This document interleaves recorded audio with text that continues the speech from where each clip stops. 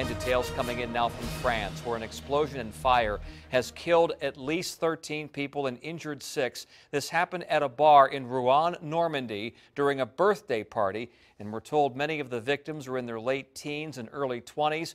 Early reports say that the cause of this fire was accidental, but a judicial inquiry has been opened just a short time ago.